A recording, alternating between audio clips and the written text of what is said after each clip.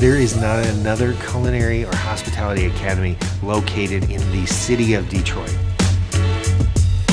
There's a lot of people teaching culinary arts, but they're not teaching the business side of it. We're opening up another kitchen for the Cleary Culinary Academy. We're going to bring a Cleary mind to every kitchen in downtown Detroit.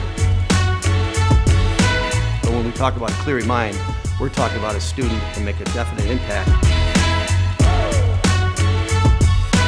We want to be a part of all the wonderful food establishments, restaurants, and the food scene in general in downtown Detroit.